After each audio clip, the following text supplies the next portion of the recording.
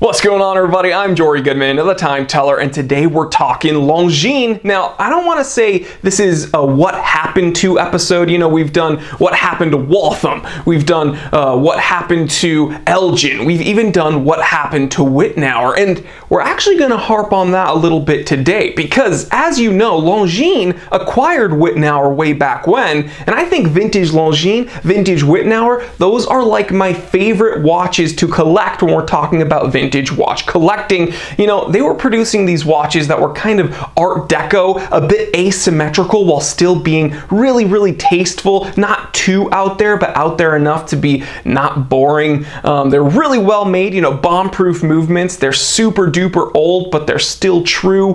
Uh, I just absolutely love them. Incredible watches from vintage Longines and vintage Wittenauer. However, something happened after that point. It's like Longines just kind of disappeared. They just kind of did something really cool and then they just pieced out. And it's a bummer because a lot of the watches after that point were just kind of crummy. But today I bear good news because it seems like in very recent history, Longines is making moves to come back. So you know what, we can actually just kind of wrap the episode up like right here because uh, I think the title of this episode is, is Longines coming back? YouTuber thumbnail. And the answer is just yes. Longines is coming back. But all jokes aside, we're actually going to take a look at a few Longines releases that have come out pretty much in the last five years uh, that I think are just incredible. And again, this is proof that Longines is not, they're not willing to go down without a fight. They're not trying to just fade away. They're not trying to Thanos themselves. They're making moves, baby. It is 4.45 p.m. Let's get down to business.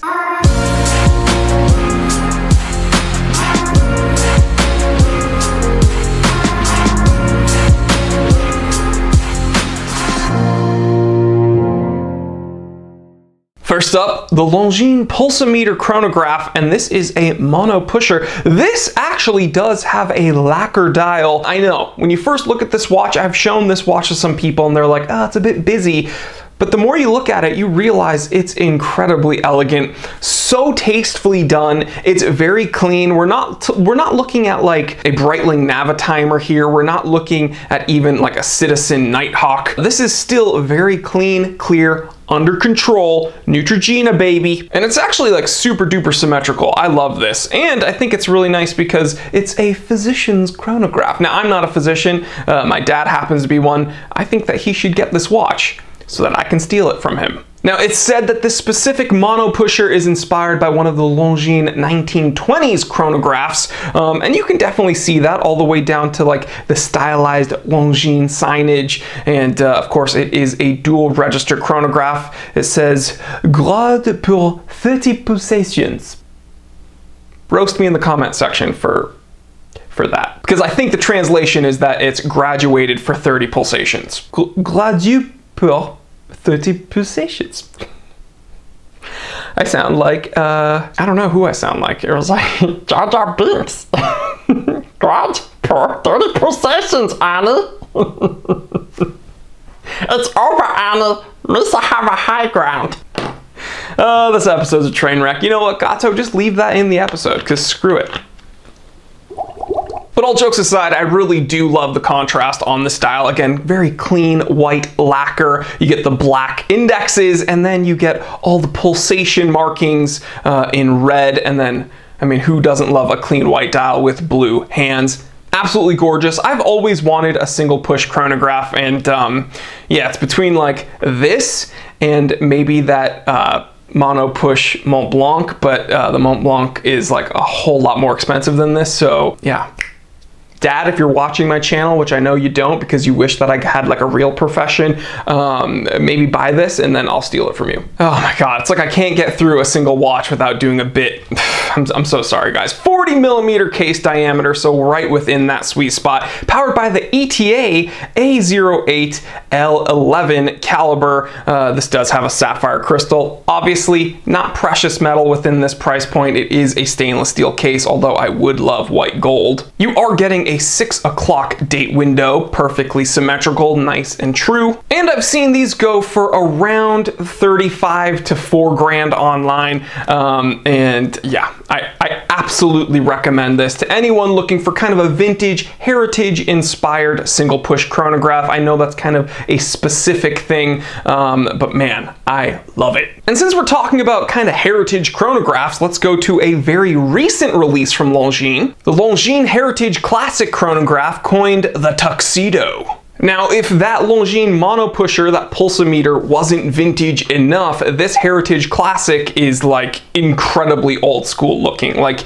even more than that mono pusher. Uh, this is crazy all the markers, like, like I'm serious, all the chaptering markers, all the indexes, the center dial, even the handset, even the Longines font, it looks like it's old. And while that mono pusher was based on a 1920s chronograph, this is based off a 1940s chronograph, but this actually looks like an older watch. So it's funny, they really did their, they took their time and uh, yeah, they made it look super duper old school. You know what? I kind of like the look of this more than I like uh, that AP Remaster 01. Of course, the remaster from AP, uh, also a vintage inspired chronograph that costs much, much more more than this Longines Tuxedo, but I actually like the way this one looks even more. Speaking of price, this Tuxedo is coming in right around three grand.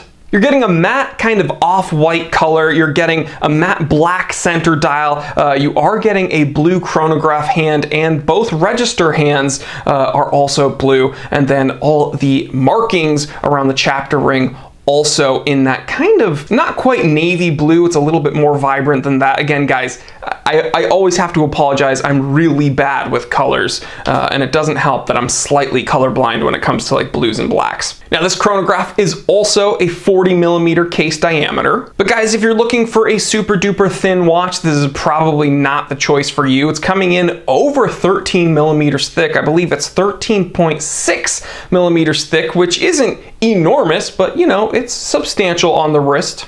Now powering this Longines is actually a modified ETA. I believe it's an upgraded ETA 2892 and Longines calls it the L895 caliber. But again, it's it's just an upgraded ETA. No issue with that, just letting you know. 54 hour power reserve and all in all just incredible styling. So I'm a big fan of Longines Heritage Collection and there's actually a few more we're gonna talk about right now. The Longines Heritage 1945. Now this is a watch that when I saw it in that kind of uh, I'll say salmon dial. It's not the most pink in person, but uh, gorgeous dial. Very simple. Some slight kind of grainage texturing. I'm not to say it's like a linen dial. It's just an amazing, an amazing layout. It's simple, it looks old, uh, everything is sharp, polished case. I've gotten to wear these a few times because I have a buddy that actually owns this exact watch. Very small subdial, so we're talking small seconds. This is like small, small seconds, and it's actually pushed right next to that spindle. Um, so if you don't like that layout, not the watch for you. Big blued handset, um, just incredible watch. Again, the Longines font, incredibly old school. Uh, nothing applied except for some of the indexes. Uh, they are raised a bit off the dial. And all in all, the only thing I think they could have done better with this watch is to give it a display case back. But, you know, display case backs were not common. That's actually kind of a fairly recent thing. So in the 1940s, this watch would not have a display case back. I just think it'd be fun if it did. This is a 12 millimeter thick automatic. Uh, again, 40 millimeter case diameter. That's kind of a theme here and you're getting a sapphire crystal. So one thing I absolutely love about Longines Heritage Collection is that they do stick true, they stay true, I should say, to their older models that they're kind of pulling inspiration from, but they're giving it uh, kind of upgraded parts. So if you do want a vintage watch, but you want the confidence of a modern build, uh, then Longines Heritage Collection, you know, I think it's top notch. Moving on to a watch that has a very common design, but I think, you know, Longines does a very good job with it. I can see a Mido Baroncelli in this watch. I could see, um, you know, a cocktail time in this watch. It's not something that stands out to me as like super duper unique. Like some of the other watches on the list were a bit more unique than this, but I'm talking about Longines Heritage flagship, or I believe it's the flagship heritage, excuse me. I know that you can buy it new for just under 1700. I believe it's 1675, but it is a really nice watch with a really sharp handset and that off-white dial, that cream dial. That's like the first thing I happen to notice. So whereas the other watch did not have too many, you know, it didn't have a ton of dynamic on the dial as far as applied indexes and like sharp handset and stuff like that. This is like this is absolutely dynamic in a multitude of ways. Really sharp handset, uh, applied indexes, applied Longines Wings logo,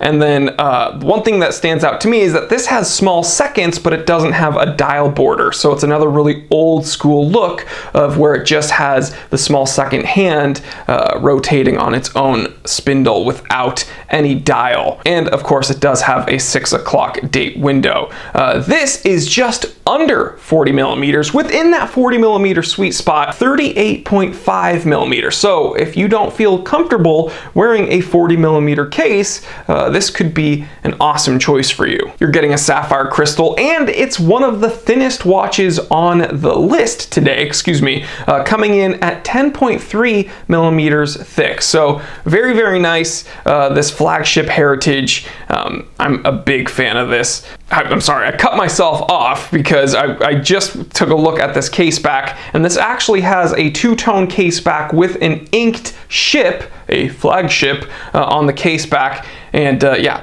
Beautiful, Be beautiful detail front and rear, but this is actually harkening back to one of their 1930s watches. So we have so far a watch that harkens back to the 1920s, a watch that harkens back to the 1930s, a watch that harkens back to the 1940s. Man, very cool. And finally, one of my favorite watches on today's list. So this really solidified my opinion of Longines Heritage Collection, and this release was what really solidified me putting my foot down and, and, and, and, definitively saying that Longines has one of the best heritage uh, collections out of any watchmaker, and it's the Military Marine Nationale. This looks a whole lot like an old Longines one of my channel members, Bryce, sent me.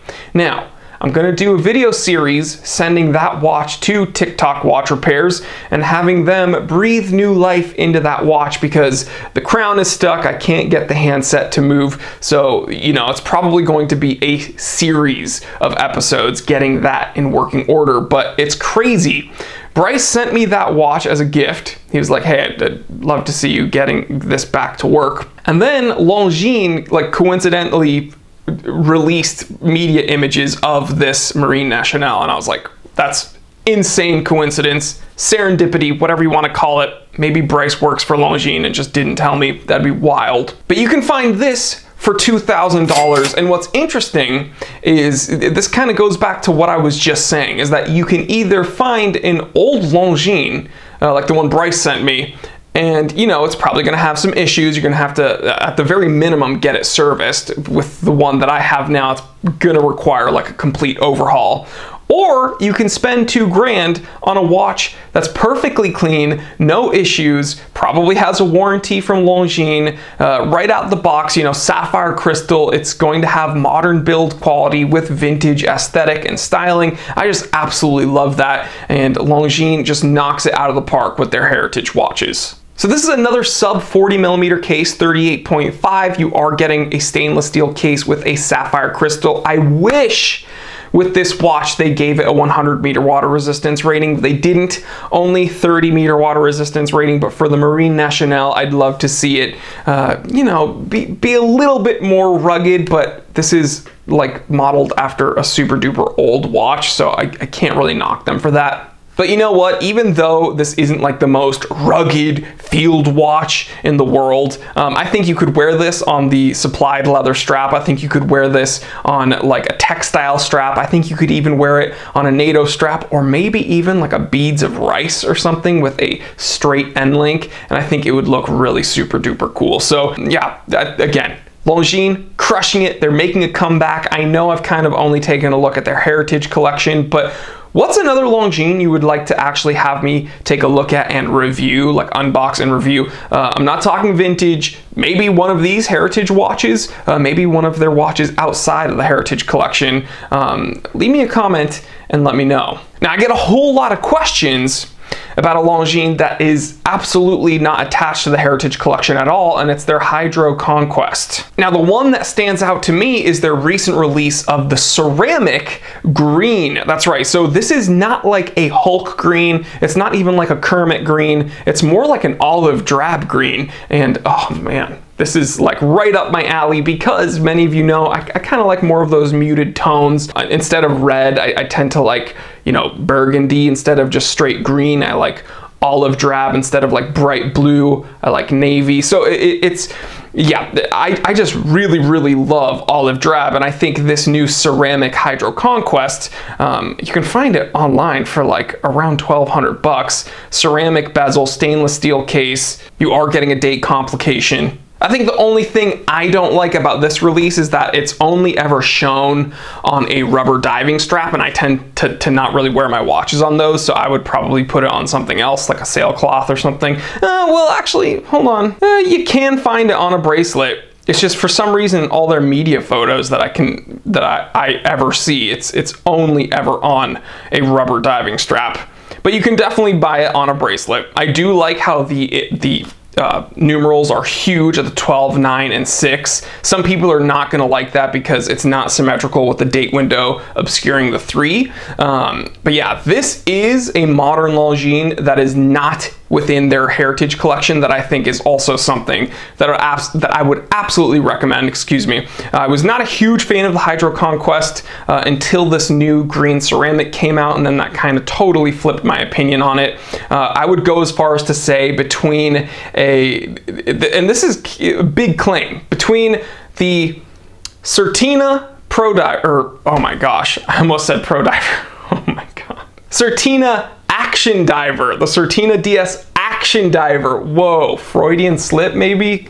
I don't know, I don't know. Between the Certina DS Action Diver, even the Powermatic 80, and this Hydro Conquest Ceramic Green, I would choose this Ceramic Green. It's just, it looks that good in my opinion. So yeah, but, but leave me that comment. Which watch would you like me to actually unbox and review from Longines? And we can go ahead and try to make it happen. So guys, thanks so much for hanging out with me on this little list. Uh, I really do. Uh, I don't know if I'm gonna call it a rant or a list today. I, I'm, I'm, it's both. I'm gonna rant, or I did rant, about how I think Longines is, is, is, making some effort here, and I think we should all give them a bit more credit. So good job, Longines. I think you're doing great. You're, you're doing great, honey. Uh, just keep it up, and um, yeah, I'd love to see what else you guys come up with. Um, but yeah, guys, can't film every day here without the support of my regular viewers and my new viewers and my channel members. So whoever's here watching, I want to thank you so much because again, you make it possible for me to hang out in this office and yell at the camera uh, just about watches. So thank you guys. And if you do want to join the channel memberships, uh, it's like YouTube's Patreon. It's $4.99 a month. You get some extra content and you get access to that members only Discord chat. Uh, click the join button next to the subscribe button and you can join the ranks of the T3 Army.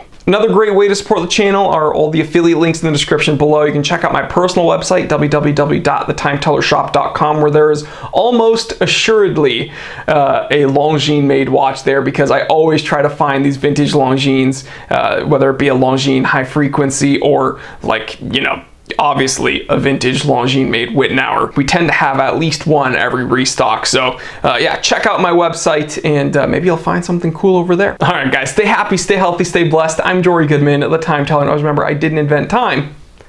I just tell it.